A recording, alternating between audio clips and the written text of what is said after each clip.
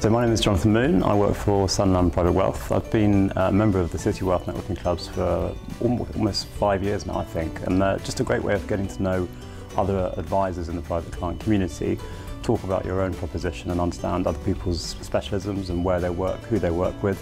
And it's just a great way of building your own network uh, and sharing best practice across the industry. So I'd highly recommend it to everybody.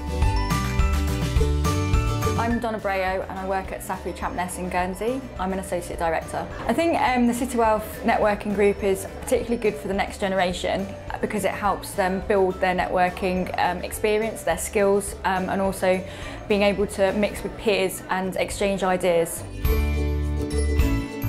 Hi, Richard Wakeham here, Head of Commercial for the Zedra Group. Networking is the lifeblood uh, of our businesses and having a good healthy ecosystem is really the, the, the key to maintaining referral networks and, and winning new business and, and meeting new people and, and new players within our industries.